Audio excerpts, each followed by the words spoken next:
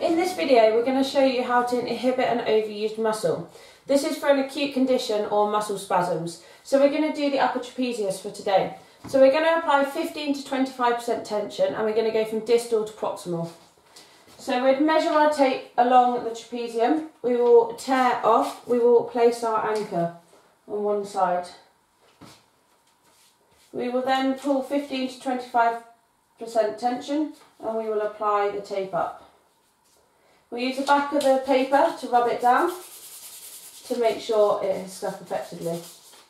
We will do the same on the opposite side, again with 15 to 25% tension.